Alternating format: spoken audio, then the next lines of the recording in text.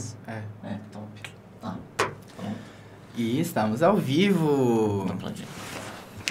Muito obrigado, seu fofo. Tocando É a minha coxa assim de um jeito. Ah, carinhoso, pô, carinhoso. Entendi. É, vamos lá? Podemos? Estamos ao vivo. Estamos ao sucesso. vivo. E é isso. É, sejam bem-vindos ao Episódio 8. 8. 8. Nosso oitavo episódio Do canal 8 Podcast. É, eu me chamo Léo Bernard Eu sou o Santana. e na produção está Pedro Ife. E antes da gente começar o papo de vez, a gente queria agradecer ao Seub por ajudar nesse projeto. É, agradecer ao Eziel, que também está por trás da produção junto com o Davi.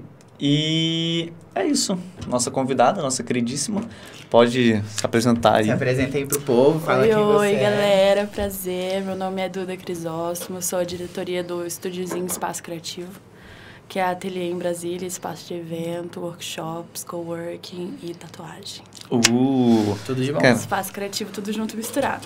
Assim que é bom. sim. E quer começar falando como que teve a ideia do estúdiozinho?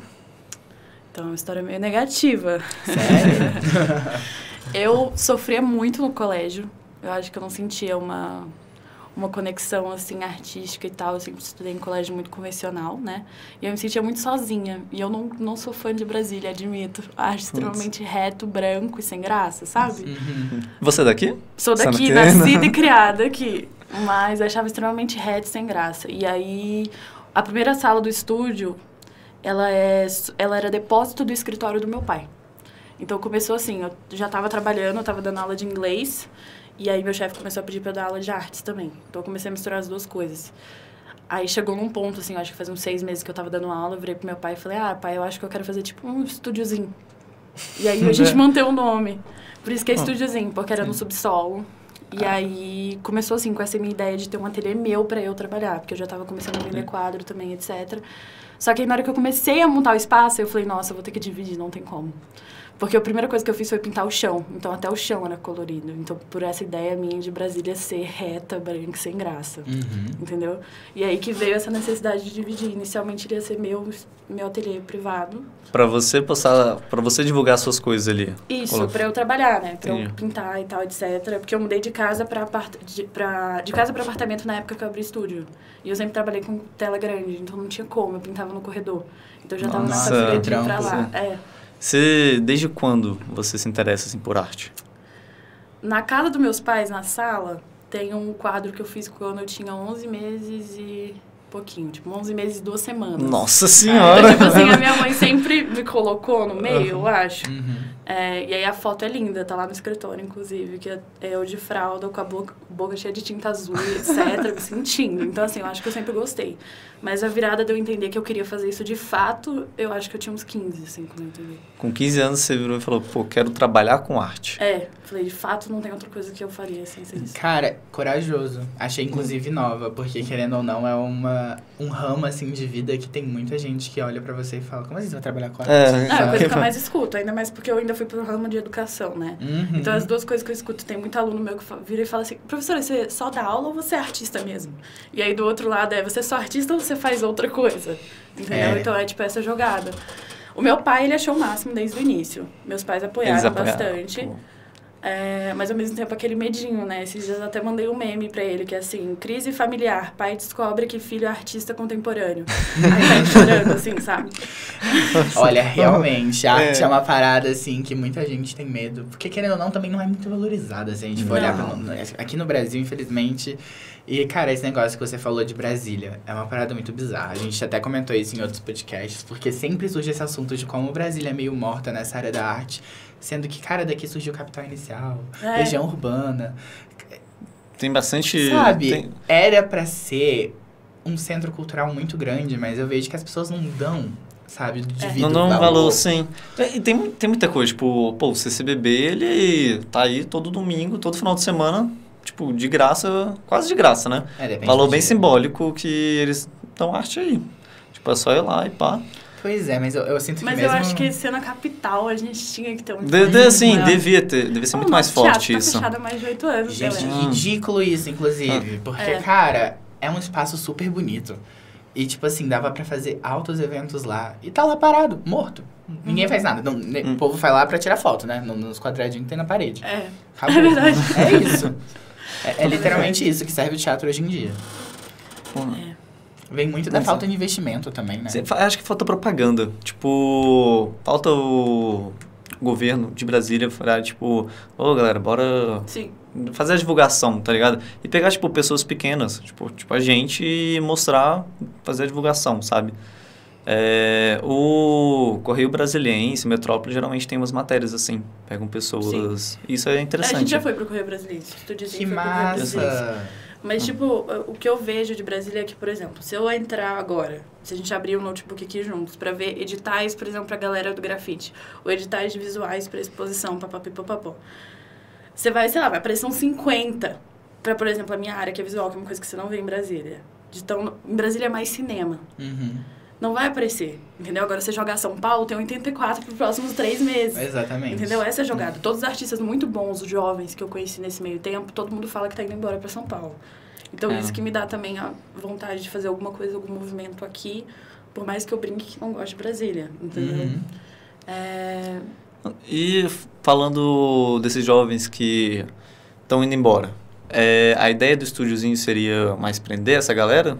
Não é prender, mas eu acho não, que não prender, mas realmente- tipo, trazer pra cá, fazer um foco aqui. É, eu sei, então, no início eu sempre falei que Brasília não tinha arte que era reta, que era branca. Depois que eu comecei a entrar no meio, que eu comecei a fazer evento, comecei a mexer com música também, pra produzir show e etc., eu comecei a perceber que existem os núcleos em Brasília.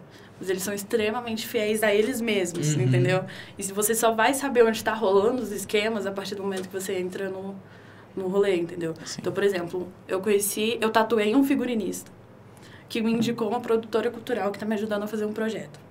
Aí essa mesma produtora me convidou para ser para estar no filme, no curta-metragem que ela tá fazendo, ela precisava de gente numa cena de festa.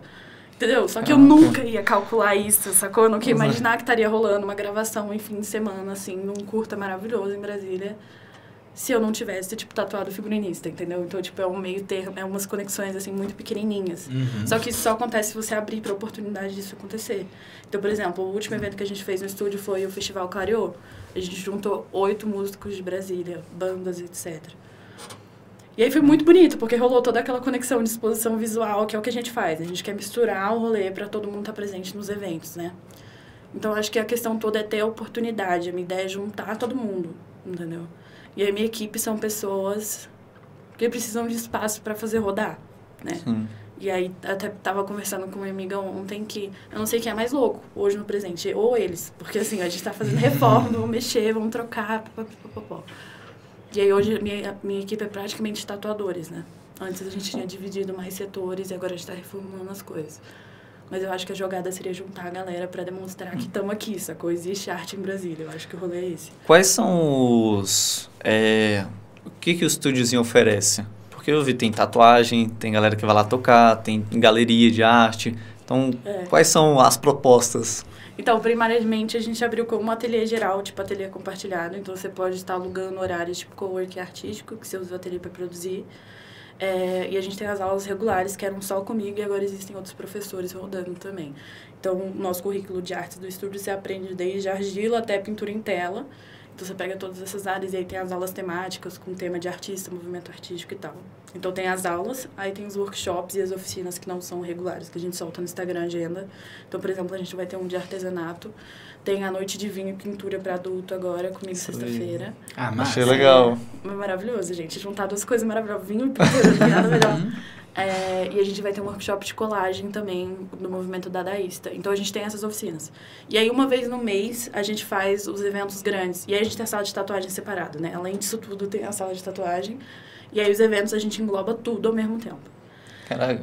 É. Então vai. No final de semana tem. É só um evento ou no final de semana são alguns eventos? Geralmente no final de semana tem mais de uma oficina, tem um workshop, etc. A gente começou a colocar workshop de. Tem um workshop de tudo. A gente abriu uma turma de aprendiz de tatuagem, a gente teve turma de culi- culinária, vai ter outra turma agora. Caraca. Então, tipo assim, tudo que envolve o criativo a gente tem. E como você arruma o- os professores? Tipo. Tudo por indicação e pelo meio, né? Uhum. Imaginei, tudo pra, Só através que- de contato. Ah. Nem ela tatuou o figurinista Uhum. e daí É. que foi surgindo. Exatamente. Foi isso que rolou, porque no início eu era extremamente ciumenta com o espaço, eu admito. Porque era aquela coisa de tipo, gente, eu pintei o chão, não é qualquer coisa, que eu- qualquer pessoa que eu vou colocar aqui pra rodar um sonho, entendeu? E eu sou muito apegada aos meus alunos, e eu tinha muito aluno criança. Então pra mim não era qualquer pessoa que podia lidar com as minhas crias, entendeu? A gente até brinca que é as crias estúdiozinho. É...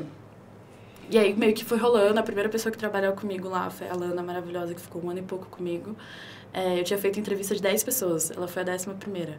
Ela abriu a porta, eu falei, é ela. Facts. Já- Aí, Já sentiu ali. Bateu a vibe. ela gerente, ela começou a fazer os eventos junto comigo. Primeira colônia de férias era eu e ela. Férias, a gente faz colônia de férias. Era eu e ela e 25 crianças. Nossa, vocês dois conseguiram lidar. Gente, as crianças piraram, né? Ah, imagina. Férias, tinta, toda aquela coisa. E a, a gente até zoava, que no primeiro dia eu achava que ela ia pedir demissão e ela achou que eu ia demitir ela. E a gente ficou naquela tensão. assim. Mas deu tudo certo, foi tudo maravilhoso. Então foi meio por isso, por indicação, mas a galera vem muito atrás da gente. Então, tipo, por Uhum. exemplo, a Alana veio atrás da gente. É, hoje quem me ajuda a gerir o estúdio de tatuagem é a Elisa.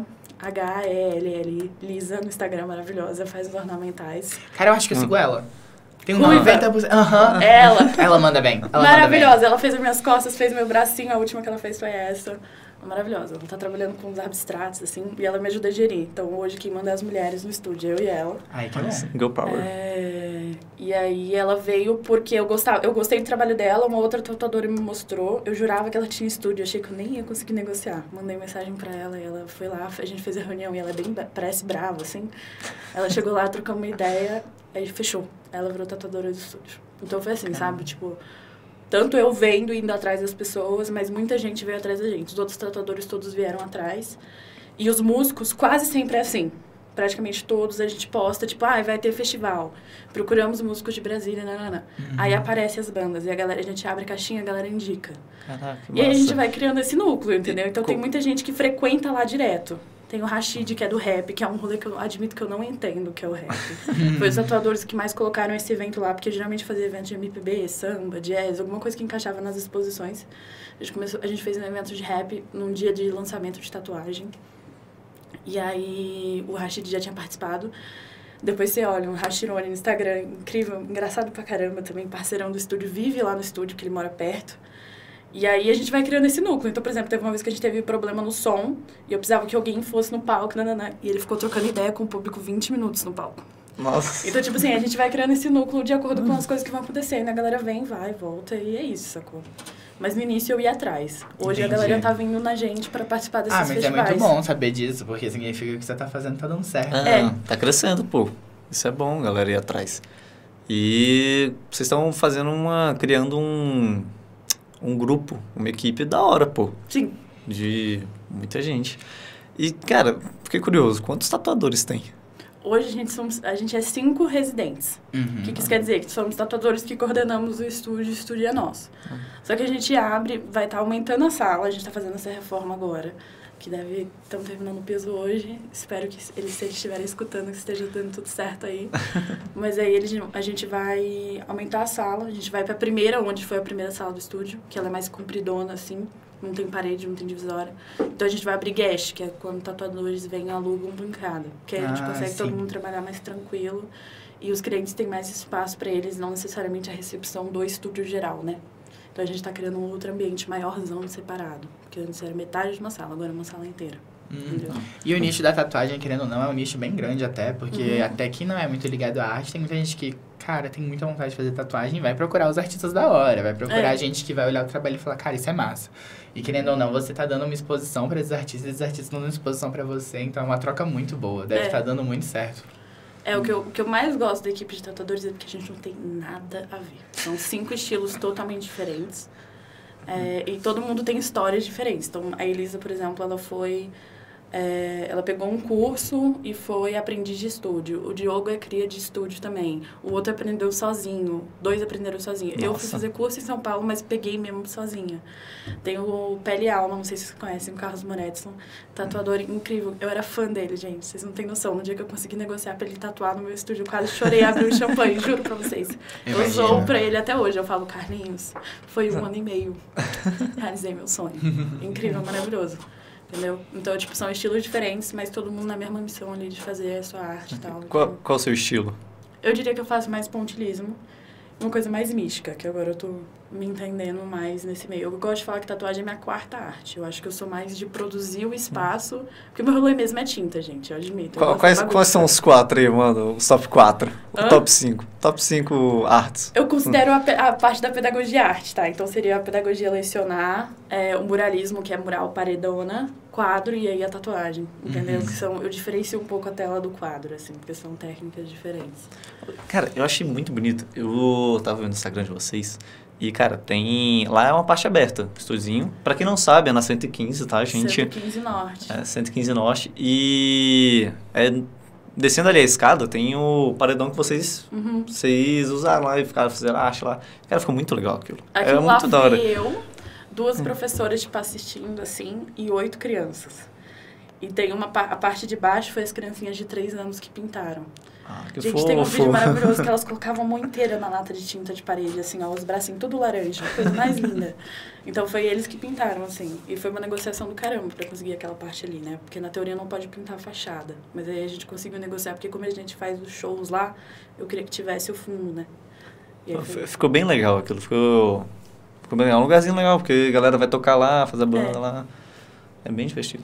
E, cara, essa história de pintura, eu vi seus quadros, né? Eu vi seu Instagram, eu vi seu estúdiozinho, até a foto que você mandou pra gente conseguir divulgar. Hum. E eu achei a sua arte muito bonita, muito diferente. Quando é que você Nossa. foi pra esse viés desse tipo de arte? Porque, querendo ou não, quando a gente começa a pintar, é, É. uma bagunça. Eu sei porque eu faço arquitetura, a gente aprende aquarela, aprende desenho. E no início você quer fazer tudo, e Sim. até você entender o que você realmente gosta de fazer, né? Eu tive uma mentora de pintura dos meus. Acho que eu tinha uns oito até meus 13. Só que era a clássica zona. Então eu aprendi a pintar primeiro na tinta óleo. Uhum. E aí, se você ver meus quadros, que a maioria tá na casa da minha avó, não tem nada a ver com o que eu faço hoje. Então a maioria era natureza morta, bicho, coisa que a minha mãe pintava, pedia eu pintar, retrato, realismo, que hoje é uma coisa que eu não gosto de fazer nem um pouco. Tipo, eu sei fazer, eu consigo dar aula de realismo, mas eu não faço pra mim, entendeu? Não é a forma que eu trabalho. É, mas eu sempre gostei de pintar gente, pessoas. Então eu pintava muito retrato, muita anatomia e tal. Só que aí depois eu comecei a entender que talvez a óleo não fosse meu negócio, porque ela demora muito pra secar, eu gosto de camada, eu gosto de colar coisa em cima. Aí eu comecei a experimentar jogando colagem em cima da pintura com tinta acrílica, que tem cor mais vibrante também, né? Uhum. E aí eu comecei a descobrir que talvez eu gostasse mais desse rolê. Aí eu comecei a pintar seres não muito corretos, assim, falando no sentido de anatomia, né? Tipo, uns braços maiores, um coração maior, eu gosto de pintar órgãos também. E aí começou a rolar isso. Mas eu tive ali o meu, meu meio, essa transição do que eu faço hoje pro que eu fazia no- quando eu aprendi a pintar. Teve uma- um meio termo, assim, que meus pais ficaram extremamente preocupados, porque eu desenhava uns monstros que não tinha nada a ver. Eu acho que eu tava me entendendo. Isso quando você era. Quantos anos você tinha, mais ou menos? ah, eu acho que eu tinha de 14 pra 15, assim, pouco antes Ah. de abrir o estúdio. Eu ainda tava nessa definição, assim, uma crise. Mas artista tem isso, a gente tem uma crise tem, que visual. se, tem que se descobrir, pô. É, o tempo todo a gente vai ter uma crise, vai estar mudando o estilo de alguma forma, assim, são fases, né? Mas não sei, eu acho que hoje eu entendi onde que eu... Hoje você já tem a sua vertente. Inclusive, É. sua arte muito bonita. Parabéns. Obrigada. Eu adorei os quadros. É bom que verdade. você vai entendendo até as cores que tu gosta, sabe? Então Ah, agora é eu tô muito fazendo uma verdade. coleção, eu Uhum. sei exatamente como que tem que ser, sabe? Eu consigo ver. Mas aí a gente tem essas transições. Tem um quadro engraçado, que é tipo assim... É um ET de toalha na cabeça, tomando chá num chão quadriculado com um tubarão e tal. Não lembro por que raios eu pintei isso, mas era uma coisa que não tinha nada a ver com o que eu pintava antes. Eu acho que eu tava tentando fugir do que eu pintava clássico até entender onde eu tava. E aí Entendi. esse quadro foi o último quadro que eu pintei antes de abrir o estúdio. Então ele tá no corredor da minha casa até hoje, porque eu nunca terminei. Então ele é gigante, assim, ele é 3 por 6. Nossa. gente. É Nossa, parece um quadro bem legal.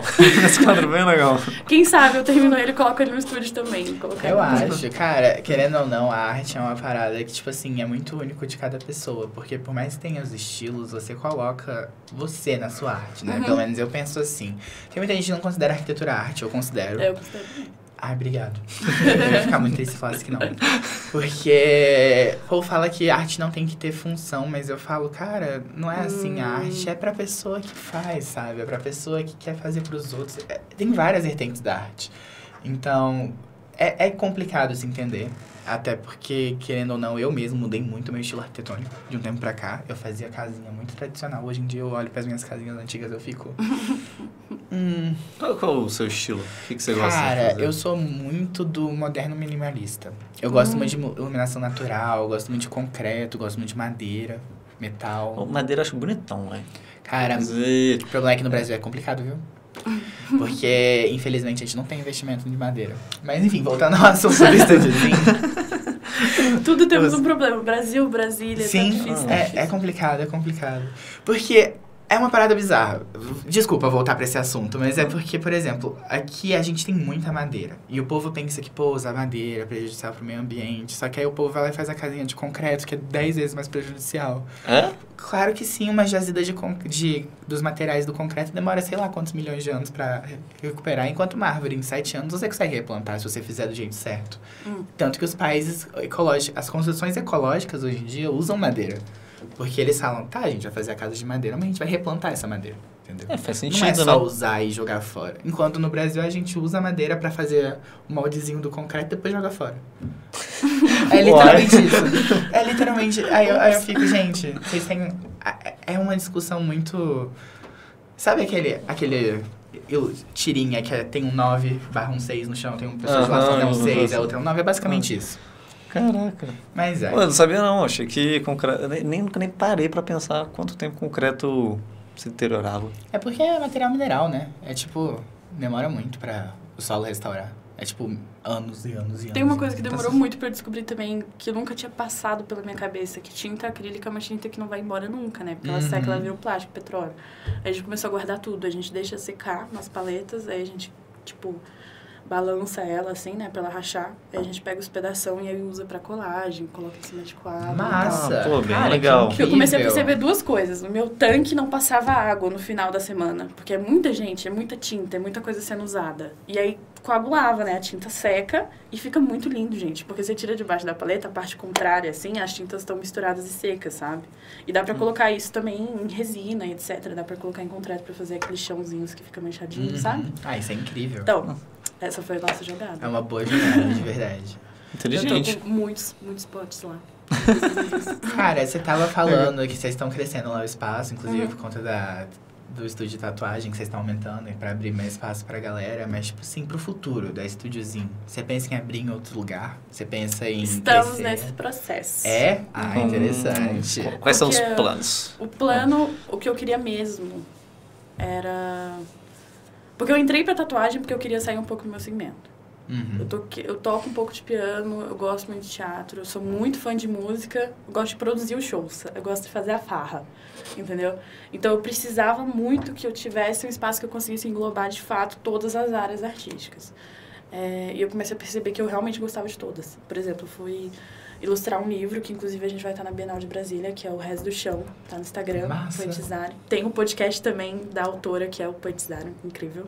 Ele é todo poético, você evolui 20 anos em 20 minutos, juro pra vocês. É, e aí eu percebi que eu gostava de fotografia, porque pra esse livro eu tive que fotografar. E aí, só que não dá pra fazer tudo isso no estúdiozinho, entendeu? Porque é muita gente rodando, é muita aula, é muita criança, então a gente tem esse, esse núcleo complexo. Então a minha ideia é, a gente tá tentando negociar aí parcerias, etc, pra gente abrir um complexo criativo maior que a gente encaixe todas essas coisas. Um teatro, um espaço pra dança, um espaço pra fotografia, separar as coisas unificadas, porém maior, mais espaçado. Como a gente fica no subsolo, até por isso também o nome estúdiozinho encaixa legal, o fato da gente só poder crescer pro lado também, né? Sim. Então não tem muito como. E galeria não tem como ser sem um pé direito alto. Você me Isso é entende, você me verdade. entende na Uhum. arquitetura. Então eu sofro muito com isso. Dói meu coração, entendeu? Então precisa um pé direito alto, tem todas essas coisinhas. Então a ideia mesmo é a gente estar abrindo um complexo aí, talvez no próximo ano e meio. A gente fazer uma mudança maior. Então seria tipo um Massa. centro cultural. Isso. Um complexo. Caraca. Centro Isso cultural é da da hora, mano. Isso Mas é da uma parada assim que falta em Brasília, de verdade. Então, mas essa é a missão. Eu acho que eu ainda não, não desisti dessa missão. Eu admito que é, a pandemia complicou muito a vida. Ah, Então, com certeza. Por exemplo, todos os meus alunos que vinham de muito longe, com a pandemia já complicou. E aí a, a, gasolina aumentou. Então todos os meus alunos que vêm, que a gente fica na 115, o fim da Asa Norte, meus alunos que vêm de Águas Claras, Jardim Botânico, aí diminui a quantidade de frequência deles. Isso obviamente dá um prejuízo pra gente, uhum. afins e afins, etc. Muda toda a nossa agenda. Então a gente precisa de um espaço também mais democrático, que as pessoas consigam chegar e tal. Mas também o Brasil está nessa oscilação, então não dá para postar em nada com tanta certeza. Sim. Então dá para postar no que a gente sabe que está dando certo. Então, por exemplo, o buraco tatu, que é de tatuagem, é o que está rodando mais agora. É o que a gente está tendo mais fora os cursos e workshops, né? Então, o espaço que eu estou dando para eles é maior, tipo, eles vão para ponta maior, até porque a gente precisa de janela, por questões de biossegurança, janela direta pro lado de fora. Então, eles vão ficar pertinho do mural, né, da janela uhum. de fora. E aí tem que rodar ter essa rotagem. Entendi. Ah, mas que bom que você tem esse plano de crescer e pegar em outros lugares, porque querendo ou não, como a gente tem falado, né? Falta isso muito uhum. aqui nessa cidade, querendo ou não colocar em outros pontos, facilita para as pessoas. Sim. Sim. É, querer, tem que ser numa. Porque, por exemplo, o metrô não chega no final do Não, não, não chega. Falta é, a parada fica em cima em cima da 115, entendeu? Então isso é muito ruim. E querendo ou não, a arte ela é muito elitista. Sempre foi. Uhum. Entendeu? Então, é uma das missões que a gente quer também é poder democratizar. Só que para fazer isso a gente não consegue ser uma empresa privada 100%. Então, a gente tem que tentar o máximo possível fazer negociações com projetos de ONG, etc. Papapi, papapó. Vamos ver o que a gente consegue. Eu queria muito trazer turmas da escola pública para dentro do estúdio. E é uma coisa que a gente está tentando Nossa, é um projeto que seria muito interessante. Sim. Mas isso é uma coisa, você tem que ir na escola, não? Sim, ah, a gente já está nessa negociação também, ah. que é o Ministério da Educação, e aí você negocia diretamente com os diretores das escolas. Então aí a gente está vendo o que, que daria para a gente fazer, as escolas mais próximas, ou talvez escolher uma mais longe. Mas é um projeto também que está é, entre as missões do estúdio, assim que é ser um espaço seguro para quem tiver afim de criar. Esse é o ponto, não é só para quem se considera artista, né? Uhum. Um espaço para você criar. Eu gosto, de, eu gosto muito que tenha gente lá, mesmo que não seja para ter aula, etc, que tá lá, sabe? Só falar de rolê, né? Sim, a ideia é que ah. seja um espaço convidativo que para você criar, para você se questionar ali. Mas eu também queria muito conseguir democratizar o espaço, assim, no máximo possível. Só que ali é complexo, tanto pela localização, tanto pelo que a gente oferece como produto, né? Então a gente tem que. Pô, mas é um. É um lugar que dá pra ir rolê, tipo, pô, tô fazendo nada, vamos lá no estúdiozinho, tipo, ah, sexta, bora lá no estúdiozinho, vai ter galeria, a galera vai tocar lá. Sim. E a galera se une lá, tipo... É, os eventos é o que a gente faz Sim. hoje mais democrático possível. Até porque a gente chama a galera de todas as áreas. E vem artistas de muito entendeu? Tipo, a gente consegue fazer os esquemas de ajuda de custo pra gente trazer os músicos que estão vindo lá, lá, lá de cidade satélite bastante, bem, bem longe da gente. E acaba que o show é complicado, né? Porque fica até tarde. Então aí a gente faz essa rotagem pra gente poder trazer o público de longe. Pior, vocês podem ficar aberto até a hora que vocês quiserem? Não. Tem que... Infelizmente, não. Tem horário para fechar? Tem, a Eu... gente acaba música ao vivo às, é, às 11h30. Às vezes a gente deixa até meia-noite. Teve uma vez que rolou um delay, um atraso no palco e a gente ficou até duas. Nossa. E eu morrendo de medo. E era um rockzão. o último show era um rockzão. Porque geralmente a gente começa no fim da tarde, um MPBzinho, né? Vai pro uhum. jazz, o bossa, e aí vai subindo pro rock e geralmente fecha no rock. E eu lembro que tipo, eu fiquei em cima da galeria, assim, na parte de fora, perto dos prédios residenciais, pra ver se dava, dava pra ouvir, mandando mensagem pro cara do som. Pô, abaixa um pouquinho, não, pode aumentar. Assim, porque tem essa questão, né? E querendo ou não, Brasília com a lei do silêncio também, que não faz sentido pra mim. Alguém comprou um apartamento do lado é... comercial e esperar que seja silencioso. Mas tudo bem, né? Eu acho que isso é um pouco de culpa da disposição das residências é, em Brasília. É porque, cara, a gente olha o plano, a maioria das pessoas que vivem em Brasília não conseguem morar no plano porque falta casa. Gente, Sim. falta casa. Tanto que a casa no plano é muito mais cara que em outros lugares. É absurdo. Sim. É absurdo. Pois é. é, então a gente tem esse, esse pequeno detalhe. Então a gente começa 4, 5 da tarde, e aí a música ao vivo vai até 11h30, mas geralmente a galera fica lá. Aí a gente tem o bar temático também, que eu inventei junto com. Eu gosto de eu brinco com os meninos da equipe que eu falo, a gente vai fazer uma testagem de drink aqui para ver se está funcionando e aí vocês vão notar. E aí eu vou eu vou a gente colocou um bar temático, né? Então é Picasso no Grau, Goró de Goya, Inferninho de Dali, Mel da Frida, então é tudo temático, a gente abre isso nos eventos. Aí até o bar acabar, a gente vai deixando ali quando desmonta palco e tal, etc. Mas a gente nunca teve problema também, porque a gente tem um público muito legal. Acho que a galera precisa tanto que seja um movimento artístico que a galera respeita as questões, assim. Então a gente, graças aos deuses, nunca teve problema no espaço. É, é, um. Acho que é um público meio fiel também, né? Sim. É uma galera bem alternativa que gosta desse tipo de rolê. Sim. Então, tipo. É, é fiel, galera. Sim, Sim, bastante. Que Até porque a gente, esse último eu decidi não, a gente repetiu só um músico dos outros festivais, né? Então a gente sempre vai rotando, a galera acaba sempre indo. E é bom porque vai criando os a galera fiel aos artistas que estão apresentando, né? Então a gente vai fazendo essa troca. Qual o critério que vocês usam pra escolher o artista? Preciso que encaixe na ideia daquele evento. É bem isso. E aí eu faço, geralmente um mês e meio antes, eu abro essa, tipo, curadoria. Aí eu sento com todo amor do mundo, vou escutar um por um, comunicar com Ah. todos eles. E como que faz pra aí, entrar em contato contigo? Pelo direct? pelo Instagram do estúdio ou pelo nosso WhatsApp que tá lá, que é o meu diretamente. Aí vocês falam comigo. Aí às vezes, geralmente se tiver algum produtor cultural comigo, etc, aí fica entre nós dois, assim. Já sei até pessoas pra recomendar irem lá no estúdio. Sim. Galera que tem banda, tem muita gente que tem banda aí pro Brasília. Inclusive a Kaleidoscope, minha banda favorita de Brasília, mas eu sou meio. Como que é? Kaleidoscope. A banda do Davi. Ah, tá. Porque eu sou meio. Tá. Meu padrasto é, é meio. né? O Mas- pa- padrasto dele tem uma banda. É uma banda de. É um rock, meio MPB. é- Ele toca vários ritmos. É porque, como ele veio da África, ele nasceu na Guiné-Bissau. Aí ele morou muito tempo em Cabo Verde, Portugal. Ele é bem viajado. Aí, chegando aqui em Brasília, como ele sempre escutou, porque lá era países que eram colônia de Portugal, então a música brasileira chegava lá. Aí ele sempre foi muito apaixonado por música, chegou aqui, ele começou a ter banda, acho que ele teve banda também na época que ele morava em Paris. Que isso? Viajadíssimo. é. Ah, gente, é, mas aí você vai ver a família é toda dividida também, né? Cada um num É pedacinho do, do planeta. Ou família grande. É grande mesmo. Mas aí, cara, é um projeto musical que começou com uma banda, hoje em dia é um projeto musical solo, mas que, tipo, até o ex-baterista do Nat Roots já participou. Vou super recomendar eles pra vocês, para que você goste Por do somzinho dele. Acho Por que vai ser favor, eu tô à procura, galera, estou à procura de bandas de reggae agora no momento. Banda de reggae. reggae. Gente, bandas de reggae, É, por o, é o único, o único que eu não consegui ainda. É reggae. Tem muito? Acho que não tem muito Brasil. Então, é essa dificuldade. Eu achei que era mais exposto isso. Mas é um rolê que eu não tô conseguindo. O que mais tem é rock. Que Sim, eu ah. adoro, pessoalmente adoro. Então, Ah, funciona. deve ter bastante mesmo. Cara, o. É, qual é o nome do vocalista do Nat Roots? Acho que é Alexandre o nome dele. Eu sigo ele no Instagram.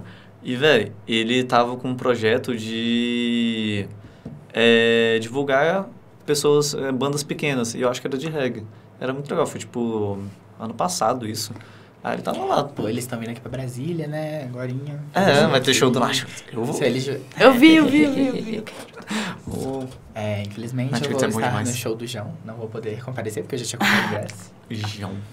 Vai ter Gal Costa também logo Ah. mais. Vai ter Cara, tá tendo muito show em Brasília. Graças a Deus. Tá tendo muito Eles estão recompensando, isso Sim, eu admito. que tá bom. ligado? Cara, pô. tava com. Cara, Ah. esse, Brasília sempre foi meio morno pra show, né? Querendo ou não. E quando tem é caro. É, É. Mas. Sempre vai pra onde? São Paulo, Uhum. Rio, Curitiba. E Curitiba. No Acabou, máximo, acabou. Floripa. Aí a gente fica como? O brasileiro fica A gente como? fica chupando o dedo. Fica esperando, fica esperando Caetano Veloso fazer aqui um, um protesto, né, gente? Exatamente. Que inclusive, porque, por exemplo, tinha um movimento aqui em Brasília que era um evento que era um Green Movie, né? Que infelizmente não tem mais, eu já participei várias vezes. Que eu, cara, era de graça, sabe? Você levava um quilo de alimento, ou então você ia nas palestras ou nas barracas do povo Uhum. fazendo divulgação e conseguia assistir o show, e era um monte de banda. E, tipo, eu sinto muita falta disso aqui em Brasília. Então, saber que o estúdiozinho é um espaço que as pessoas podem ir lá tocar, pode ir lá ouvir um monte de Uhum. coisa É. diferente. Cara, é muito legal a ideia só de, tipo, pô, quem quiser vir, vem. Tá aberto aí, tá ligado? Tipo, É, é exatamente, é espaço aberto, totalmente aberto. Dá pra você vir por todos os lados do prédio, galera. É só Hum. chegar, literalmente. E a gente é a ponta, assim, a gente fica perto da tesourinha e do chão, assim. Então é aquele gramadão a gente acaba usando, coloca food truck e tal. Então é um evento totalmente aberto. E aí você pode contribuir pros artistas, pode pagar um cover opcional se você quiser, etc. Tem o bar e a galeria, as exposições são abertas também. Então o rolê é só chegar. entendeu? é Essa muito da hora. É E tem a poesia interessantíssimo. também. Poetas são muito convidados, são muito bem-vindos, porque entre os intervalos de uma banda para outra, se tiver trocar alguma coisa no palco, a gente abre os microfones de poesia. Então a gente tem esses intervalos também. Cara, vocês oferecem muita coisa. Sim. Tá doido. Quer fazer Eu- arte? Tamo ali. Pô. É tipo isso. Tá, tá no Quer ramo aí da arte. é- arte, tamo aqui também. Vai lá. Quer beber um gorozinho? Vem pra cá Sim. também. Cara, É exatamente perfeito. isso. Tem coisa melhor? Não, com certeza. um garozinho arte, gente. Perfeito. Nossa senhora. Cara, Eu- falando em exposição, é, quais são os maiores tipos de exposição que vocês têm? Porque querendo ou não, exposição artística tem de vários tipos, né? É, geralmente, eu imagino que deve ter muita pintura. Mas tem um nicho específico que geralmente tem mais. Eu vou de acordo com artista, né? Tem que ser de acordo com o que eu tô sentindo. Uhum. Mas assim, a primeira, que, a primeira exposição que eu fiz no estúdio foi quando eu comecei a fazer evento. Foi o primeiro evento foi uma exposição misturado com essa noite de vinho que eu faço, que a galera vai, tipo um workshop, né? Que a galera bebe um vinhozinho comigo e faz pintura em tela. E aí a gente abriu as duas coisas no mesmo horário, com cinco fotógrafos aqui de Brasília. Então foi uma exposição de fotografia, foi a primeira que eu produzi. Então eu fiz, foi a primeira vez que eu fiz uma curadoria, tipo, produzi uma exposição e tal. A gente pediu autorização do prédio do subsolo, colocou parede descartável no teto todo, dois dias colando parede descartável para colar tudo bonitinho as fotografias. E aí rodou 380 pessoas. Uau. E aí eu fiquei abismada. Falei, gente, o que que tá Nossa acontecendo? Senhora! Calma, Brasil. e aí que eu me toquei que era uma possibilidade de abrir o espaço, né? Sem ser só um espaço só de curso e ateliê. Então, meio que depende do que tá rolando. Porque, por Uhum. exemplo, nessa exposição a gente dividiu setores. Então, tinha uma exposição de fotografia minha, que era pintu pintura em, em pele.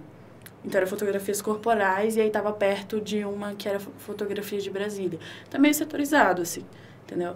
Aí teve um- uma outra exposição que a gente fez recente, foi um grupo de seis artistas visuais aqui de Brasília que são amigos, que era uma coisa mais abstrata, assim. Então, meio que depende, sacou? E aí, nesse mesmo dia, eles estavam de um lado da, da galeria e eu tava do outro com uma exposição que eu fiz com um fotógrafo de São Paulo, Leonardo Plácido, maravilhoso, que é o nosso projeto Espírito Abstrato, Uhum. que é fotografia é, e pintura tudo junto. Ele gravou e eu pintei, entendeu? E aí eram duas coisas nada a ver, entendeu? Como, como que era? Mas era em quadro? Pintava... Não, eu pintando em mim. Ah, você se pintava e... E ele gravava. Ô, Exatamente, louco. tá no Instagram.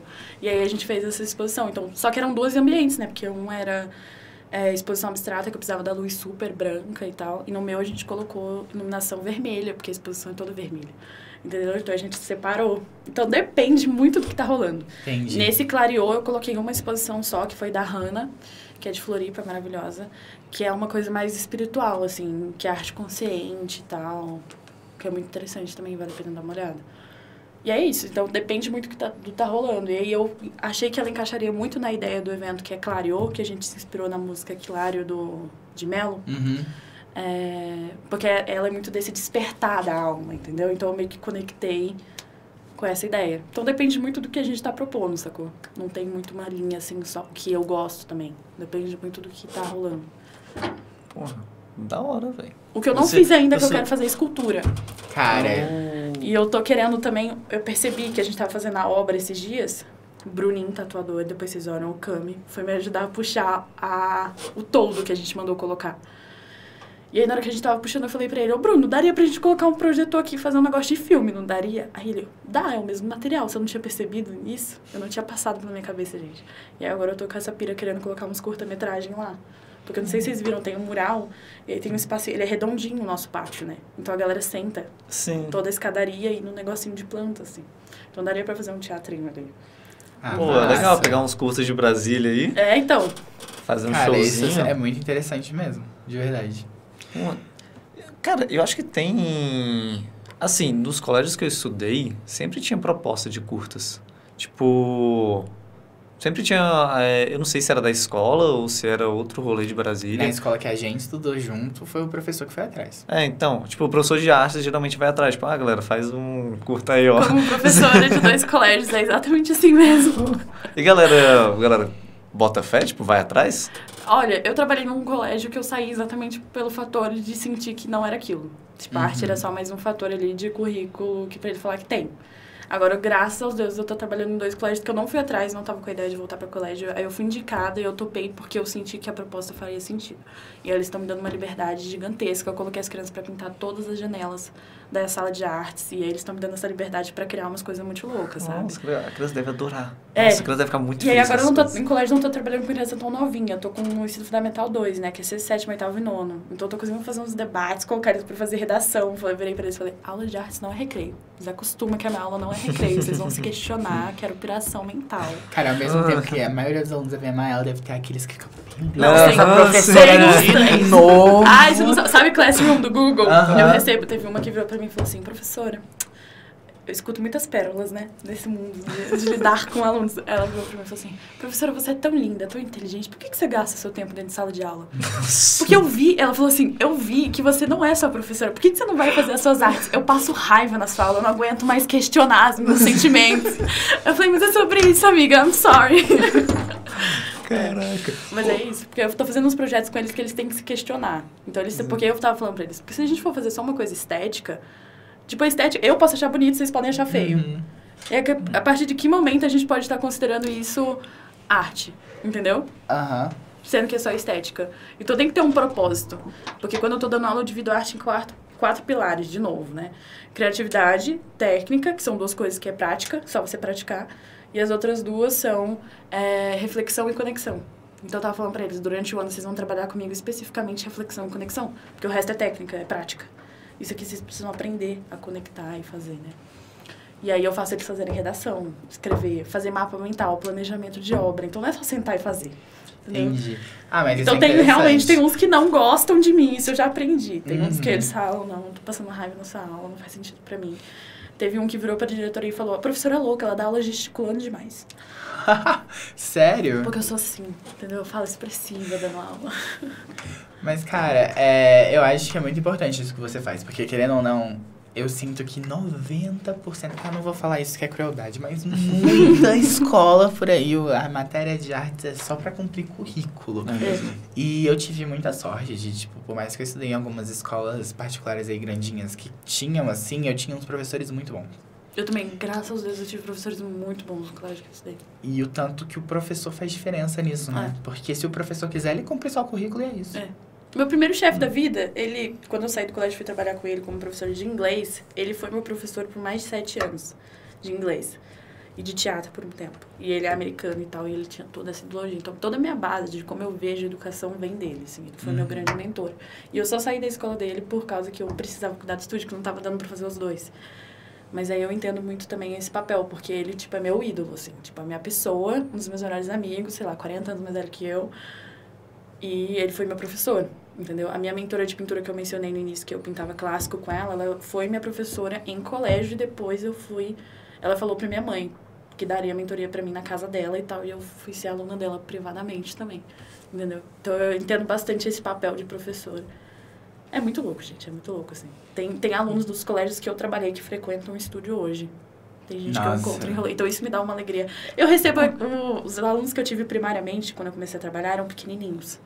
E aí tem uma família que eu fui professora dos três filhos. Tipo, que tem uma diferença de dois, dois anos cada um. E aí eles frequentam o estúdio, me mandam festa de aniversário das crianças, negócio online, tudo, entendeu? Me manda presente dia dos professores, etc. Eles não são mais meus alunos. Então você entende também onde você cria uma conexão, onde você tem a potência. Obviamente você não vai conseguir tocar todo mundo, isso é uma missão impossível.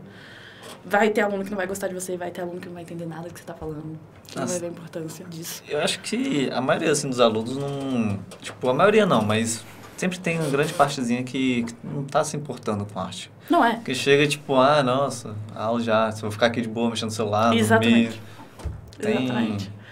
É, mas, tipo, eu acho que os alunos que você consegue pegar, eles gostam muito. É, então. E eles devem ir atrás. E É, isso então. deve ser muito legal. Essa é a jogada. Tipo assim, a- a- o trabalho do professor é provar um ponto.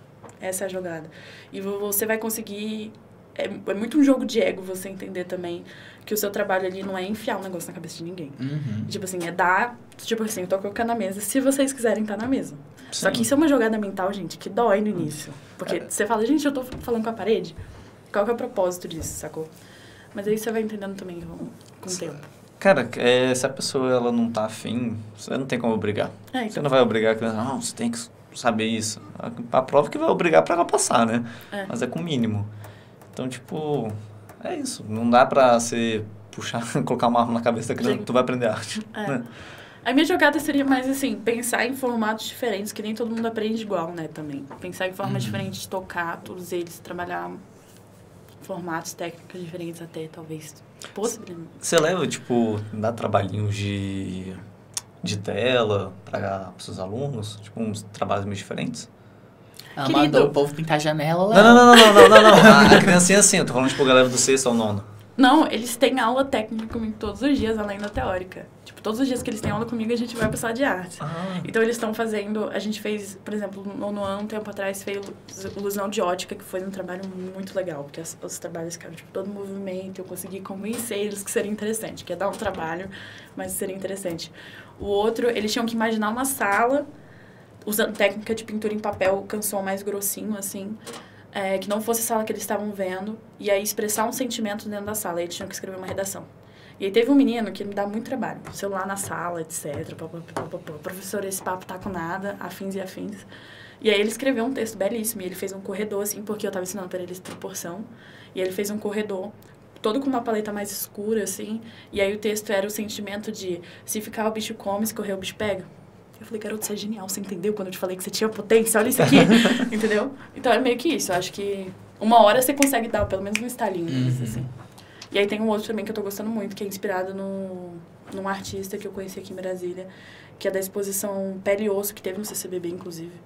Que são, é feito de espuma aquilo, espuma expansiva de parede. Ele fez os, os lugares da África em forma de osso que estavam morrendo de fome. Só que é uma sala totalmente branca. E eu tava explicando teoria das cores para o oitavo ano. E aí, nessa ideia de... Eles fizeram uma pesquisa. Então, por exemplo, é, laranja no marketing é sucesso. Laranja nisso é aquilo. Sacou? Existem, né? Espiritualmente é uma coisa, papapá. E eles tinham que montar uma sala também com uma cor só, expressando um sentimento nessa cor. Então, uma maquete zona que eles estão fazendo, como se fosse essa exposição. Que é, um- é uma exposição agoniante, né? Porque essa ideia de fome, na hora que você entende o que está acontecendo, só que ela é totalmente branco. O branco, na teoria, é paz, né? É Uhum. Então, as cores podem mudar de acordo com a jogada que você fizer. Então, é isso que eles estão fazendo. Só que tá dando um trabalhão, falei pra eles. É, um trabalhão. Vai escrever, vai justificar o sentimento, porque nossa. só pode usar uma cor. Eu recebi um e-mail hoje, falou, professora, eu não aguento mais. Será que existe a possibilidade de trocar a cor? Eu falei, mas como é que você vai trocar? Vai trocar tudo de novo? Ele falou, é, realmente. Eu pensando de novo. Só branco pode usar. Não, eles escolhem ah, a eles cor. a cor. Essa é a exposição que eu coloquei de exemplo. Saquei. Foi a Puro Osso, do CNG. Pô, que da hora. Cara, muito da hora. Eu, eu já vi essa exposição e eu achei uma jogada genial usar espuma expansiva de parede, porque, tipo assim, é um material que eu nunca imaginei fazer arte com aquilo. Eu já tinha testado isso e eu fui fazer. Eu entrevistei ele com meu pai. Meu pai tem uma revista, eu fui conhecer ele no ateliê dele. Sinistro o trabalho do, do CNG. E é- eu não cheguei a ver a exposição. Eu vi só os protótipos no ateliê, assim, que ele me mostrou. Não consegui ir. E aí tem até na minha parede lá, no- na minha mesa do estúdio, tem um pedacinho, assim. E eu levei para os meninos verem. Então, tipo assim, é, é é espuma expansiva de parede e ele corta, né? A espuma. Uhum. Então fica parecendo os ossinhos, assim, como se tivesse um, um osso cortado. Que material é esse, esse espuma expansiva? Então, é que tem tipos diferentes de espuma, mas geralmente tem pra você É tipo fazer esses- isolamento, tem pra ser isolamento térmico, acústico, tem pra Ah. só juntar, você junta de parede. Tipo assim, vai fazer aquelas paredes que é drywall, que é aquela parede que é fininha. Aí é o que você coloca no meio, muitas vezes. Tem várias É tipo uma espuma, sabe espuma de barbear? Tipo, você Uhum. aperta ela assim, só que aí ela cresce. Tipo, ela cresce muito, até Uhum. o espaço que ela precisar crescer mesmo. Se você jogar entre duas paredes, ela vai crescer até encaixar. E ela fica muito dura. E aí, se você rachar, realmente parece um osso. É muito louco. Pô, que da hora. Fã. É bem legal. A gente usa muito isso na arquitetura pra isolamento, porque, querendo ou não, climas diferentes, né? Às vezes você quer fazer um projetinho, aí você Isolamento fala... térmico ou acústico? Os dois. Pros dois. Aí, mas tem tipos diferentes de espuma pra isso. Ok. E dura muito? Dura. Ainda mais porque se você fizer uma construção, ela vai ficar na teoria pra ela ficar É, protegida, fica, entendeu? fica, fica pra Não, lá eu um tô bom fazendo tempo. uns testes, joguei, coloquei prego nela, se pega assim, tem que jogar no silicone dentro. Eu tô tentando fazer uma escultura com ela, assim. Vamos ver se vai dar certo. Porque não dá pra você moldar, né? Porque ela vai. É, é bem difícil moldar, porque... Cara, talvez se você fizesse um molde, tacasse ela lá dentro e deixasse ela expandir só É, o tamanho do molde. Mas ia ficar as bolinhas, tudo. Hum, é, verdade. Não Testes é. e testes. É, boa sorte. É. Mas é arte, né? É experimentar, fazer É, umas experimentar, loucuras. tem que testar. tem que testar, não tem jeito. Tem que ir atrás. É, Cara, é, você ia falar alguma coisa? Não. Tá bom. É, disposição também, voltando ao assunto, porque, querendo ou não, o estúdiozinho você faz em muita coisa. E eu imagino que deve ter umas coisas que vocês já estão, tipo, calejadas. Ai, tá, vai ser tal evento, vai ser desse jeito, que eu já sei fazer. Mas, tipo Ai, não, eu assim- sou louca. É Os sério? meninos brigam comigo. Porque assim, eu, eu, eu sou muito. Eu falo, não vou mais fazer evento. Me dá três meses. Só que aí me Hum. bate um estalo. Aí eu falo, vamos trazer a galera do jazz, sabe? tipo, eu preciso desse movimento. Acho que a minha inspiração vem muito do movimento também. Uhum. Mas continue. Não, Acho que é calejei porque- de algumas coisas, mas Entendi. Não, é que eu tava mais pensando, tipo, como que deve dar trabalho. Porque gerenciar evento, qualquer evento, festa de aniversário dá trabalho, imagina uns eventos desse tamanho. E, tipo, que, por mais que você faça muitos, sempre tem os perrengues. Eu queria saber, cara, quais são as maiores dificuldades, os maiores problemas? Desabafa aí a minha equipe tinha que estar aqui pra brigar comigo, vocês não estão entendendo. Tem uma lista de BOs. E a gente colocou o todo porque a gente aprendeu do pior jeito possível, que não dá pra confiar no clima. Uh-uh. Tava lá, equipamento de som gigante, 12 bandas pra tocar. Eu, belíssima, maravilhosa, um ano de estúdiozinho. Minha equipe toda linda. Eu falei pra eles que eles tinham que ter lindos e maravilhosos. Só que a gente não tem. A gente geralmente traz uma galera, amigos nossos, etc., pra ser tipo a equipe de montagem do evento. Tudo certo até então. Passagem de som rolou. Na hora que sobe a primeira banda, gente. Só cai o mundo. Brasília, né?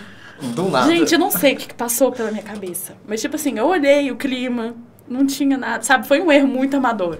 Que a gente depois, na semana seguinte, mandou instalar um todo. Entendeu? Mas eu jurei que não ia chover desse jeito. E aí foi todo esse processo da gente conseguir colocar o equipamento pra dentro. Pra dentro do, do. A gente fez debaixo do prédio, cara, na galeria, porque eu não ia cancelar um festival com 12 pessoas, estava lotado. E aí eu fiquei com aquele desespero. E toda encharcada. E o pior, era anive- aniversário do estúdio é 31 de outubro, dia das bruxas. Então a gente fez uma festa Halloween. A maquiagem do povo tudo derreteu. é... Tinha um palhaço, Nossa. um baixista da banda Contra a Cultura, depois vocês olham, Paim.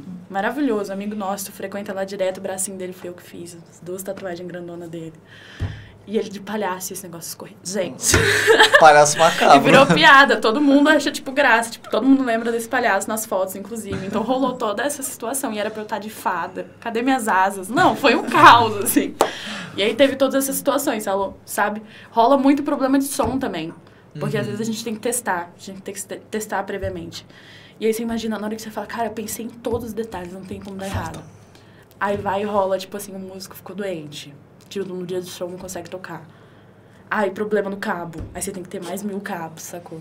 Nossa, e tecnologia é um negócio que dá trabalho. A gente tá Que passando por uns perrengues aqui também no estúdio, porque demorou muito tempo pra gente conseguir acertar no áudio.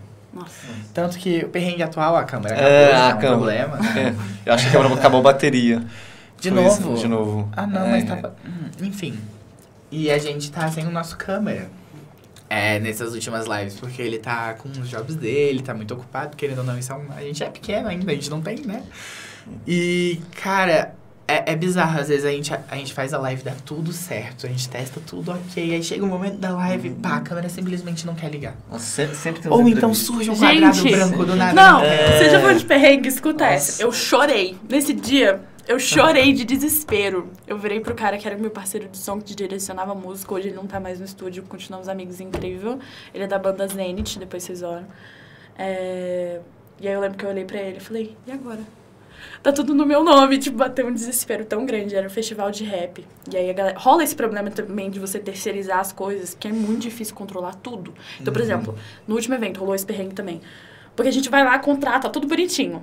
Aí o cara do shopping atrasou duas horas. Eu perdi um monte de venda do shopping. Porque quem não queria beber drink queria comprar shopping. Aí eles vão na distribuidora comprar cerveja. Então aí só me bateu aquele desespero, né? Porque querendo ou não, o evento é sempre aquela aposta, né? Ou dá muito certo ou dá errado, você perde dinheiro. Que é uma coisa que a gente também não pode fazer, né? Não pode se sucumbir a isso. É... E aí chegou a cara do, o cara da iluminação no evento do rap, se eu não me engano. Acho que foi no evento do rap. E o cara simplesmente pegou, e aquelas tralhonas, assim, de cabo, cada caixa de som, 8 mil reais, que a gente aluga de um parceiro que fazia eventos da UNB, etc. Ele puxou o cabo antes de segurar aqui no finalzinho, sabe? Ele só, bum! Gente, desligou as caixas, as caixas faziam assim, ó, tec, tec, tec. Nossa Caixa gigante.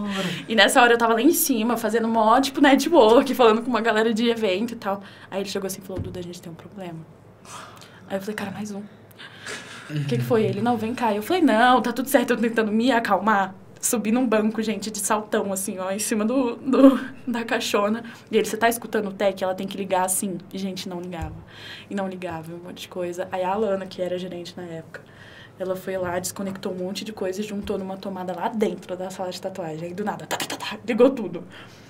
Mas, tipo assim, a Salvou, bosta que podia ter dado. Não, você não tem noção. A galera é. Porque, tipo, rolou aquele desespero, assim. Mas rola tudo isso também. É muito difícil, porque querendo ou não, não dá pra você.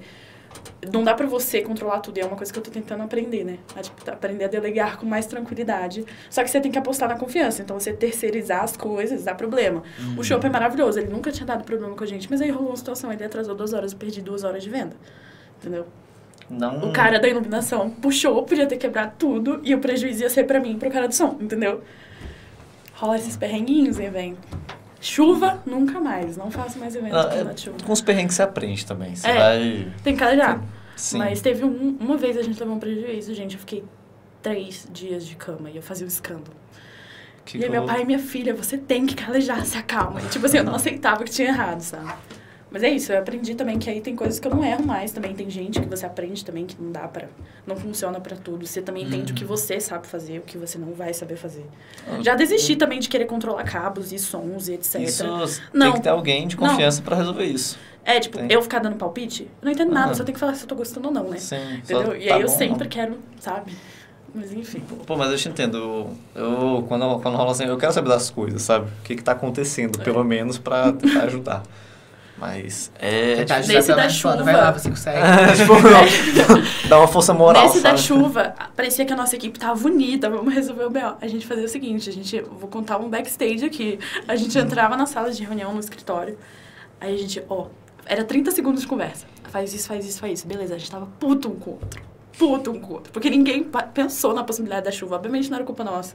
Mas todo aquele estresse de ter montado tudo. Era um palco gigante, 12 artistas, crachá de artista, e artista cobrando a gente, querendo tocar. Toda aquela confusão. E eu lembro dos meninos pegando as caixas de som desse tamanho. Tipo, a galera que era da área de música, tipo, a galera da direção de música, assim, pegando as caixoninhas. Posso ajudar? Ele nem falava comigo, sabe? Ele só olhava pra mim, tipo assim, cara, não é o momento, deixa eu resolver esse dela primeiro, sabe? Então, é- rola isso também. É muito, querendo ou não, é muito estressante. Evento, você tá responsável por um monte de gente. Acho que o mais tranquilo, assim, que a gente faz, que é maior, é a colônia de férias. Parece coisa, coisa de louco, mas é muito mais tranquilo. Porque criança não tem tempo ruim, entendeu? Tá tudo certo, virou bagunça, vai virou bagunça. Dá tinta pros meninos que tá feliz. Então, É, é isso. Evento imagino. é mais... Tem perrengue atrás de perrengue, Cara, mas é mas muito bom. é, aque- é aquele negócio, né? Você estressa, estressa, estressa, fica, meu Deus do céu, pra que que eu fiz isso? Aí acaba o negócio e fica, ai, foi tudo ótimo, que bom que eu Ah. fiz, deu certo. Do último evento foi desse jeito. No aniversário do estúdio, eu estava numa pilha de nervos, gente. Que isso aqui doía, sabe? Se falasse pra mim, tocasse em mim, doía de raiva que eu tava. Porque choveu, aquele monte de gente fantasiado, lotado, duas bandas pra tocar, aquela, aquele peteco. E aí, no final, uma amiga minha cantou uma música no palco de, pra mim, que era do Cazuza, que eu. Aí eu já tava chorando, tava tudo certo. E uhul, é isso. E o bartender, chefe, você merece. Me deu uma gin tônica, eu já tava... É isso, eu mereço, tá tudo certo, deu tudo certo. E é isso. Mas aí rola os perrengues, óbvio que vai rolar os perrengues, sempre vai rolar. Ainda mais na área de empreendedorismo também. Você tem que, não tem como, você tem que, tem que chutar pra testar, né? Tem muito imprevisto. É. Acontece muito imprevisto. Mas é bom quando, quando acaba e dá certo, você fica com um sentimento muito bom. É. De tipo, pô, que bom. Do tipo, caraca, gente, o que eu fiz deu certo, o povo gostou. É. Eu É. gostei no final. É isso, sabe? É. O, o negócio é quando você faz as coisas. Porque, tipo, quando você faz algo pras outras pessoas, você quer que tenha uma qualidade. Você quer que as Sim. pessoas gostem. E quando você vê que realmente você pelo menos atingiu o seu máximo, que as pessoas curtiram, que aí você pensa, nossa, tá tudo dando errado. E a pessoa tá lá super aproveitando. Então, é exatamente isso que eu passo muito. De artista pra artista, eu já consigo pensar em mil coisas que eu preciso melhorar na sala de exposição. Ah, não, não, não. E a pessoa tá lá chorando de... esses dias. Tipo, a menina tava chorando de emoção, achando linda a exposição, e eu nervosa, querendo arrumar, colocar a fita no chão. E eu, calma, Duda, respira, não é tão assim, sabe? Aí rola isso. Mas eu acho que também quem decide fazer qualquer tipo de projeto, vocês devem passar por isso também. Quando você tá direcionando alguma coisa, você decidiu fazer alguma coisa, você tem um auto-julgamento do caramba. Uhum. Sim. Entendeu? De tipo.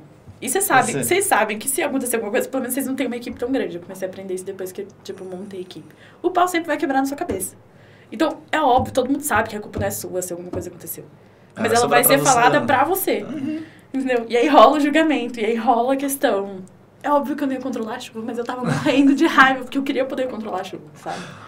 Então rola todas essas É, é porque ficou, ficou com aquela sensação de, pô, como que eu não pensei nisso? É, Tipo, exatamente. O chopp também, o cara atrasou duas horas, era tipo assim, juro pra vocês, eu não podia dar dois passos dentro do evento. E o chopp? Tira o chopp do cardápio! Gente, o que, que eu posso fazer? Eu queria muito que o chopp estivesse aqui, Hum. sabe? Então, tipo, infelizmente não é tudo que a gente controla, é uma coisa que eu tô aprendendo. E aprender a não me julgar, tanto assim. Eu acho que é a minha próxima missão como pessoa.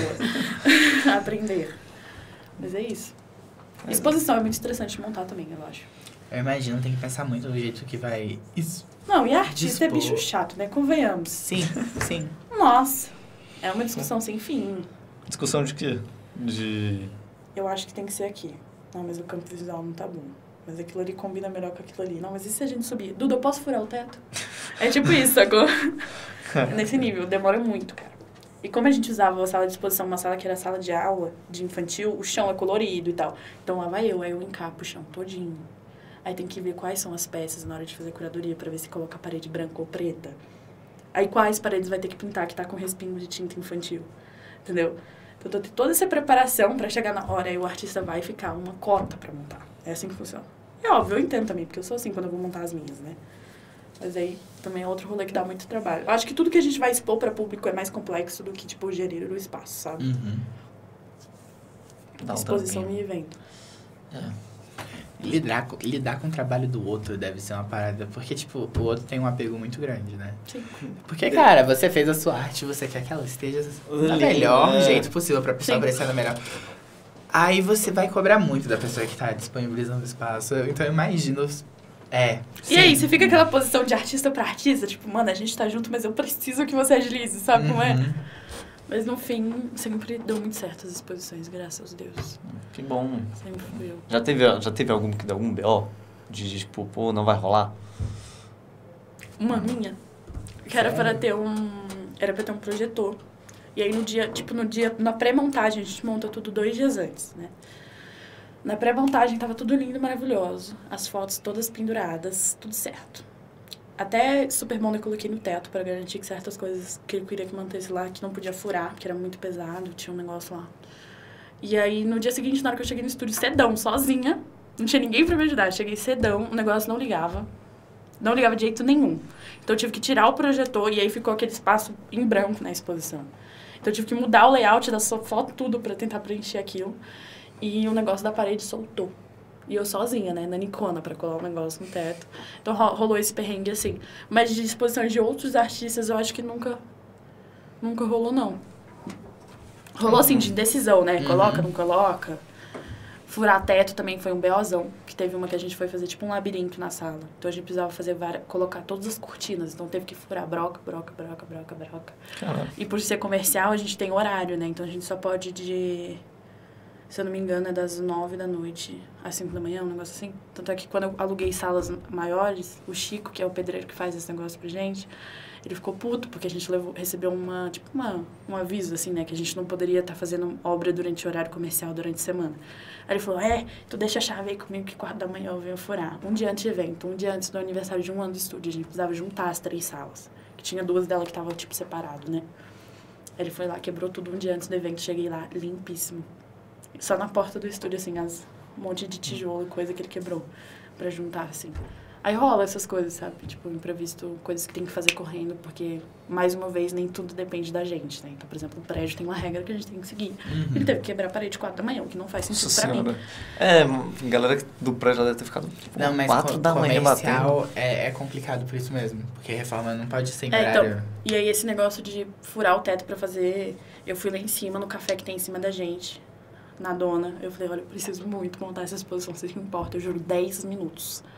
Eu fiz os meninos contarem os segundos que demorava pra, tipo, puxar assim. e aí eu falei, 10 minutos, jurando, não, Duda, pode. Aí eu fui e fiz, entendeu? Porque, tipo, dá pra, como a gente é subsolo dela, a galera tá lá tomando café, aí tá De tocando boa? a dedinho Tá, de piaf, tá. aí do nada, vu, vu, sabe? Aí rola isso. Mas é. Ah, mas que Ah. bom, pelo que Tem você... vários desses pe- perrenguinhos, né? Mas no fim, sempre lindo, amo o que eu faço, não faria outra coisa. Não trocaria por nada. É, Ah, isso que importa, fazer o que você tá gostando e saber que você tá fazendo bem, né? Porque quando você vê. Porque, cara, eu tenho certeza, quando a Lavínia falou e eu vi a quantidade de gente que conhece vocês, que tem super interesse, que curte demais o trabalho de vocês, eu fiquei, ah, velho, é um trabalho legal, sabe? O povo tá curtindo. Então é uma coisa importante, sabe? É uma coisa que, tipo, dá aquele negocinho de, cara, o povo tá curtindo o que a gente tá fazendo. Então, é. É muito bom, eu amo. Pós-evento, a gente recebe a galera repostando as coisas no Instagram. Eu amo. Eu amo ficar assistindo stories dos outros pós-evento. A galera mandando mensagem, etc. É bom que a gente faz network também. Tem muita gente que já deu aula no estúdio, deu curso, etc., que conheceu a gente em evento. Eu acho que isso é importante. E a gente é democrático, gente. Só mandar um WhatsApp, mandar um Instagram, a gente tá lá querendo receber a galera. Qualquer um aí, quem quiser, só falar com a Tuda. É isso. É isso, galera. I gotta go também. é, eu ia falar isso, tem, que já comprar, estamos tem que ver meu quase, piso. Quase no final da live.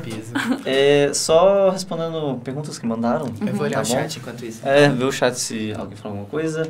Bom, ah, o Umpa, é, obrigado por mandar a pergunta. Falou, como foi o rolê para abrir o estúdio? Acho que você já respondeu. Sim. E a outra pergunta é, conta um pouco sobre sua trajetória como artista. Isso você explicou no, no começo. É, eu acho Mas- que eu sempre tive, assim, né? Mas eu me entendi mesmo que eu queria trabalhar com isso com 15. E com, quando você abriu o estúdiozinho? Eu tava com 16. Nossa, você era abriu- bem nova. É? Eu, emanci- eu me emancipei no mesmo ano, assim, eu já trabalhava pra colégio. Eu saí do ensino médio mais cedo. Prestei um monte de vestibular pra provar pros meus pais que eu podia sair, sabe? Uhum. E aí eu abri estúdio, eu tava com 16, me emancipei, abri CNPJ, etc. Papapá. E hoje eu sou a mais nova da equipe, todo mundo é bem mais velho que eu, entendeu? Eles falam que eu sou- eu sou a baby do rolê. A Chef Baby. É, Chefe baby. exatamente. Então foi isso que rolou. E é uma coisa que eu gosto também, que dá a ideia de que a galera jovem é bem-vinda. Ô, mas real, tu foi muito visionário.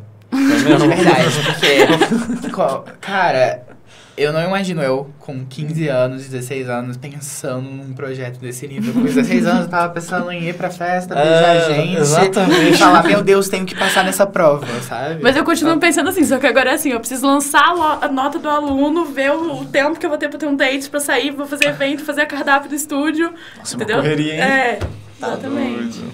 Mas eu admito que eu gosto da correria. É bom, Acho né? que eu não Faz conseguiria bem. viver sem. Você tem uma rotina certinha? Porque querendo ou não, cara, eu, eu sinto que com o seu estúdio deve ser complicado ter uma rotina certinha, certinha, não, né? A única coisa que eu tenho certeza, agora que eu vou ter que trabalhar em colégio convencional, é que dois dias na semana tem um horário, uma parte do meu dia que eu tô no colégio. É a única certeza que eu tenho. E também porque eu comecei a viajar pra fazer mural. Então, tipo, aí eu vou pra Chapada uma vez no mês. Aí eu tava indo muito pra São Paulo. Então, tipo, eu não tinha muita certeza de nada. Eu gosto disso, né? Já justificando no signo, sagitariana, sou, Ah, preciso, né, artista e tal. Então eu tenho que ter essa jogada, assim. Eu não, não sou fã de rotina, mas eu entendo também que eu. Que algumas coisas têm que ser separadas. Tipo, tem que ter um dia pra fechar a caixa. Essas coisas Sim. assim, burocráticas importantes que não pode se deixar pra trás. Mas eu- rotina não funciona pra mim. Até porque a minha inspiração ela vem do movimento. Eu tenho que sentir alguma coisa. Eu não vou sentir alguma coisa se eu tiver. Sabe? É, rotina gera monotonia. Monoto, meu Deus. Monotonia. Monotonia. Uhum. Falei certo, né? Sim. Tá bom. Que, que, ah, nossa, até perdi a linha do pensamento. Mas falar que não gera arte. isso, Porque você fica no mesmo. Cara, com o mesmo você não cria. Isso, É, tem que sabe? sair da, ca... tem que sair da, caixa. caixinha. É. É, exatamente. E com 16 anos, abre o estúdio. Uau. É, Fiquei gente, foi cara. muito louco. Tipo, hoje minha roda de melhores amigos eu fiz viajando, com a mochila nas costas, pegando carona, viajando e trabalhando. Então, meus amigos são tudo do meu meio. Então, a maioria dos meus amigos é tudo artista. E todo mundo mais velho que eu.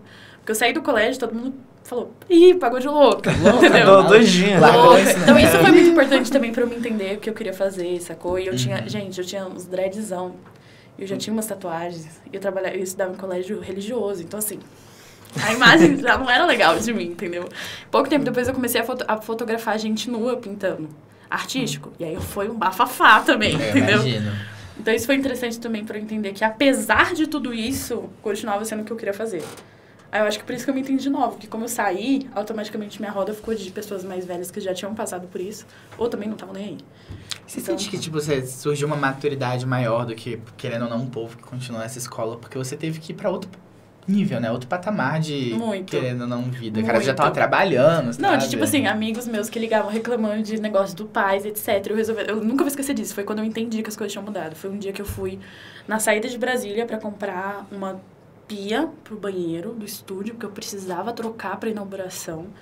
E fui comprar uma tampa de privada. Gente, quando que eu imaginava comprar uma tampa de privada, sabe? Aí isso bateu, assim.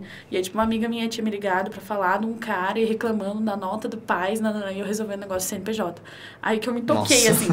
Foi, tipo, uma viradinha na minha cabeça, sabe? Eu fazendo título de eleitor com 16 anos pra poder fazer o CNPJ.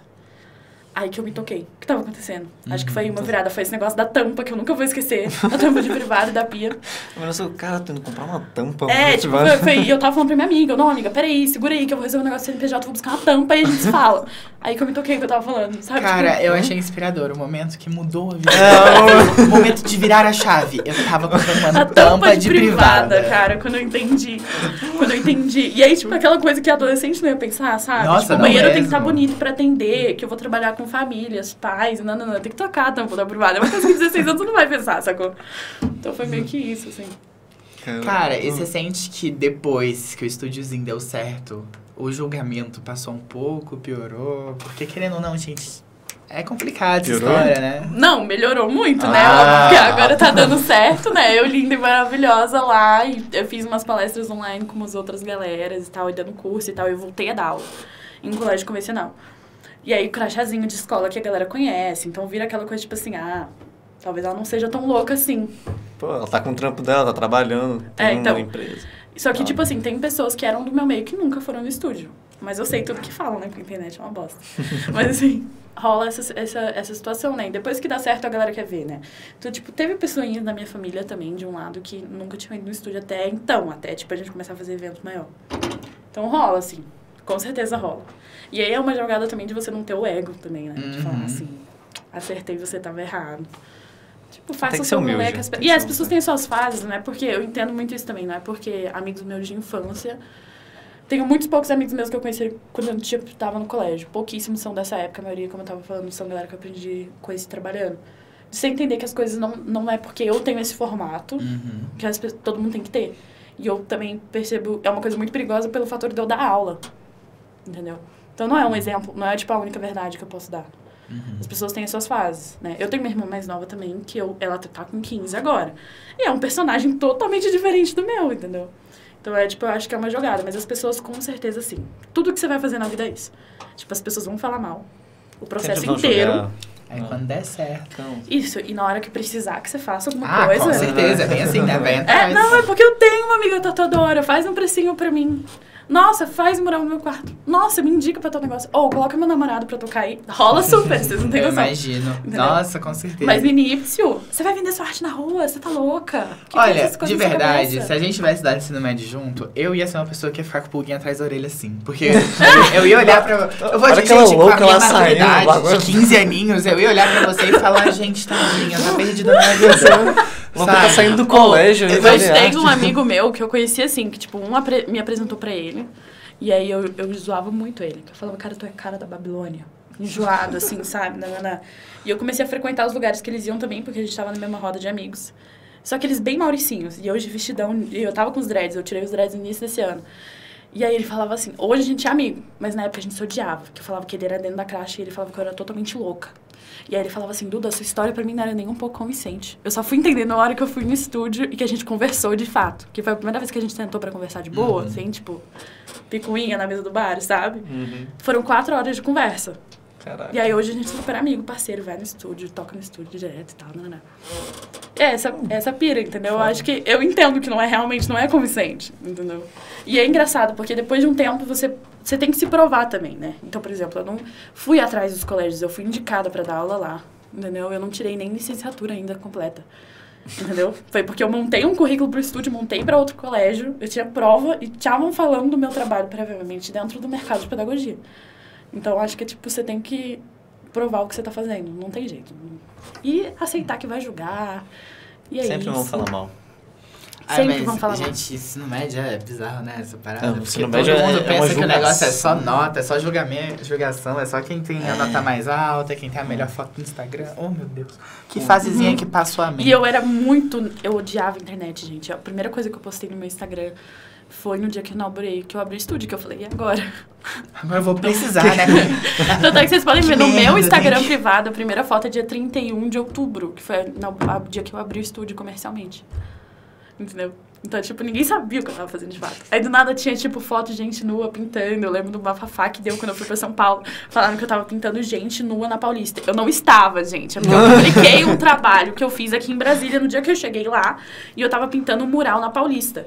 Só que eu tava de chapéu, minha calça de tinta e tal, tava com cabelão lá, com os venezuelanos fazendo mural. Óbvio que eu ia parecer louca, mas não tinha conexão uma coisa com a outra, entendeu? Mas a internet foi, é. Juntou as histórias aí. Juntou as histórias, Tá na virou um pintando bafafá, gente. Um monte de print que eu recebi no WhatsApp da galera do colégio que eu trabalhava. Nossa, que Você tá pintando gente nua, você tá nua na Paulista. Eu, gente, calma, calma. E o mais engraçado foi que uma- me ligaram, é, tipo, uma amiga próxima minha que tava nesse grupo que estavam falando da gente. E eu tava com um amigo meu na Paulista. E aí ela ligou. E aí ele, tipo, entrou na onda, sacou? Tipo assim, porque a polícia parou, gente, na Paulista, achando que era protesto, mas não era, a gente tava só fazendo mural. E se fosse também, né? Sou artista, deixa eu protestar. E aí ele falou, ai, a polícia parou aqui, vão pegar a Duda, não, não, não. E já foi outro mamãe, entendeu? Então rola super. E ainda mais artista é muito mal visto, né, gente? Tem que pagar de louco. Então, quer que eu pague de louco, vou pagar de louco, né? Fazer o quê? E esse ano vai ter aniversário do estúdiozinho, né? Esse ano Vai ir. ter dois anos estúdiozinho. Vou querer ir. Como é que funciona? É só você ir? É vocês- só você ir, super Só ir. convidada, a gente Ah, posta, é com isso, certeza. então. Eu vou ver esse dia 31, que, que dia da semana vai cair. Eu acho que vai cair uma quinta, talvez, ou uma sexta, mas aí geralmente a gente faz sábado. Entendi. Final de semanazinho, ó. Tamo Poxa, lá. super pilha. Aí lá a gente vai Por colar. favor, Aham. gente. E tem a noite de vinho agora comigo, dia 22. Mas logo mais a gente vai estar soltando os eventos. E vai ter reinauguração do estúdio de tatuagem, que é o Buraco Tatu. É, que é do Complexo Estúdiozinho. Que agora tá com salão. E aí a gente faz... show- Vai ter chopp, vai ter música. E aí tatuagem, flash tatu. Cinco tatuadores na função, inclusive a minha Que pessoa. isso. Então é, ser muito bom. Dia 22? Não, dia O quê? 22 é vinho e pintura. Ah, tá. Esse a gente vai terminar o piso hoje, se tudo der certo. E aí a gente vai E definir aí essa eles vão É, no. Instagram. Entendi. Cara, é isso. Mas tá tendo então. rifa também, caso vocês queiram. Porra, Gente, fiquem ligados nas redes sociais. Tá aí na tela, inclusive, tanto a rede social da Duda quanto a do Estúdiozinho. É um projeto muito massa, gente. É lá na 115. Vocês de Brasília, por favor, vão. Sim. Cara, conheçam. Inclusive a Alcateia do seu UB aqui, da galera de direito, eles ensaiam lá. Ideia? Aham. Ah, massa, não sabia disso. É. Bem legal. Então tá tudo conectado, gente. A casa de Ah. vocês, é só chegar. Gente, Brasília é tudo bem entrelaçado. Sim. Eu fui- eu- cara, foi. A gente abriu o estúdiozinho, eu vi, ah, não sei quantas seguidores- pessoas seguem. Eu, meu Deus, eu conheço metade. Tem muita gente que segue você. Ah, caraca, é isso? Né? Não. Que bom. É isso, é isso, então. É isso. Estamos no final da live. A gente quer agradecer aí, principalmente a Duda, por ter aceitado o estúdiozinho aí. É, obrigado pela live, obrigado a todos os ouvintes. Uhum. E é isso, mais alguma coisa? Acho que não, acho que é isso. Acompanha a gente, fica de olho na agenda. Ah, Exatamente, segue a gente galerinha, lá. fica de olho. Projeto muito massa mesmo. A gente não nossa, fica mostrando foto na live, mas, cara, a gente vai nas redes sociais dessa menina. Vai lá e vê, rede vai lá e vê. É muito Vale a massa, pena. de verdade. É isso. Vale a pena. Gratidão, Quer falar alguma gente. coisa, Duda? Não, gente, só que sejam muito bem-vindos. Estarei esperando vocês. Muito obrigado. É isso então, é gente. isso. Obrigado por assistir. Até a próxima terça. E é isso. Muda pro finalzinho e muta.